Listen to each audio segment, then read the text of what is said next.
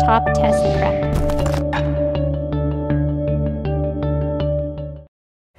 When you're preparing for math on the HSPT, it's important to remember that there are actually two types of math sections on this test, quantitative reasoning and mathematics.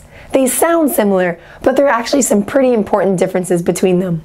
And remember, no calculators on the HSPT. But don't worry, they're not necessary at all to answer these questions.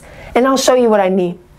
For quantitative reasoning, those are going to ask questions about series, such as identifying patterns, comparisons, either geometrically or non-geometrically, or number manipulations. And this last section has questions that describe a math problem using words rather than actually writing out an equation. So after you're done with that, later on in the test you have the mathematics section, and that has two types of questions, concepts and problem solving.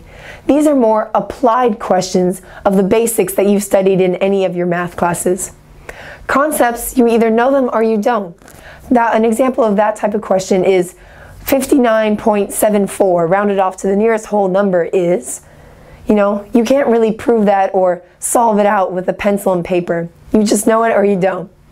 Then finally we have problem solving questions and those are going to be your typical word problems.